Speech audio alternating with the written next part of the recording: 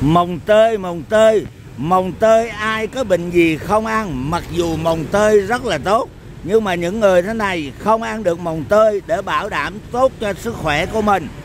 Đó là những người bị sỏi thận, người bị gút dạ dày, tiêu hóa, táo bón, bỏng da, đầy bụng, khó tiêu, chuột rút dân bị vàng ố, tiêu chảy thân nhiệt thấp, tá tràng thì không nên ăn mồng tơi. Ăn mồng tơi vào thì bệnh mình càng lâu lành, lâu bớt, lâu khỏi. Cho nên vui lòng đừng ăn mồng tơi. Đó là những người bị sỏi thận, gút dạ dày, táo bón, bỏng da, đầy bụng khó tiêu, chuột rút, răng bị vàng ố, tiêu chảy, thân nhiệt thấp, tá tràng đừng ăn mồng tơi cho nó tốt cho sức khỏe mình bà con nha còn ngoài ra là ăn được tốt, mà ăn mỗi ngày thì 400 gram không quá 400 gram ăn một ngày thì ăn liền 6 ngày thì phải nghỉ một ngày thì nó lợi ích tốt cho sức khỏe.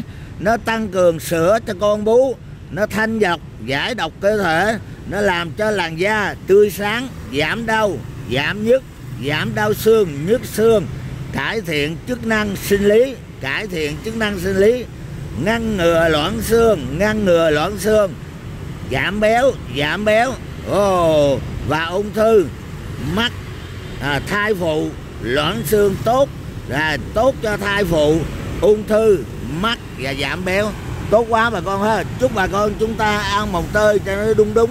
Đời ung đúng sắc đúng thì nó tốt cho sức khỏe của mình. Xin chào!